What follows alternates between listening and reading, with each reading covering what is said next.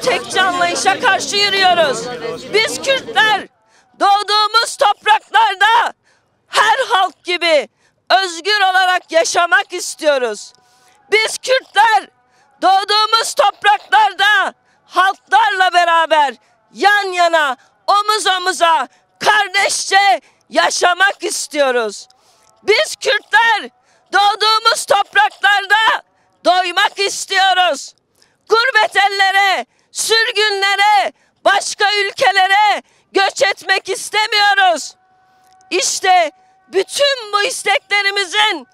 olması için, bütün bu isteklerimizin yaşam bulması için de bazı koşullar var. Nedir bu? Kürt sorununun demokratik ve barışçıl yollarla çözülmesi gerekiyor. Peki nasıl çözülür Kürt sorunu? İşte adres belli. Sayın Öcalan'la müzakere edilerek çözülür. İmralı'nın kapılarını kapatarak barışın kapısını kapatıyor iktidar.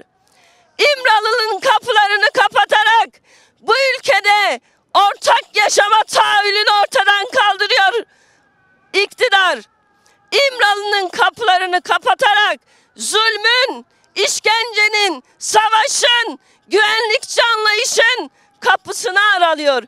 İşte biz o savaş kapısını kapatıp barış kapısını açmak için yürüyoruz. Açmak için. Bu ülkede düşünün 34 aydır bin gün aşkın süredir Sayın Öcalan'dan hiç haber alamıyoruz. Sağlığını bilmiyoruz. Koşullarını bilmiyoruz.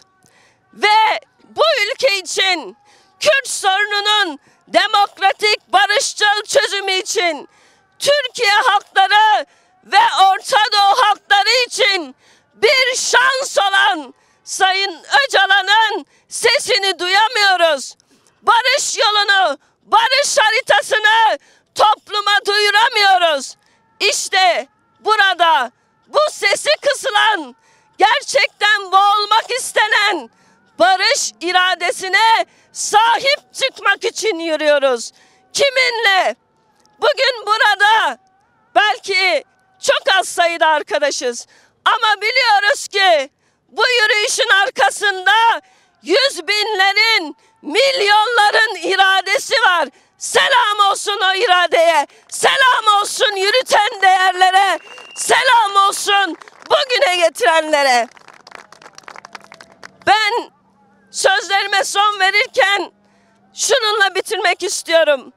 Bu ülkede her kim ki barıştan yana, demokrasiden yana, adaletten yana söz kuruyor ve bu ülkedeki işkenceyi, bu ülkedeki tecriti, Sayın Öcalan'a uygulanan tecrit rejimini görmüyorsa her söylediği lafı güzaftır. Eğer gerçek adalet istiyorsanız, gerçekten barış istiyorsanız, gerçekten demokrasi istiyorsanız İmralı'nın kapılarını açacaksınız. Sayın Öcalan'ın Kürt sorununu çözmesi için rolünü ve misyonunu oynamasını sağlayacaksınız. Sayın Öcalan'ın özgürlüğünü sağlayacaksınız ve Türkiye halkları özgür olacak, Kürt halkı özgür olacak, Orta Doğu halkları özgür olacak, kadınlar, işçiler, emekçiler, Aleviler özgür olacak. İşte biz bu özgürlük için yürüyoruz. Hepinizi saygıyla, sevgiyle selamlıyorum. Sağ olun, var olun. Serker keftin yemeğe.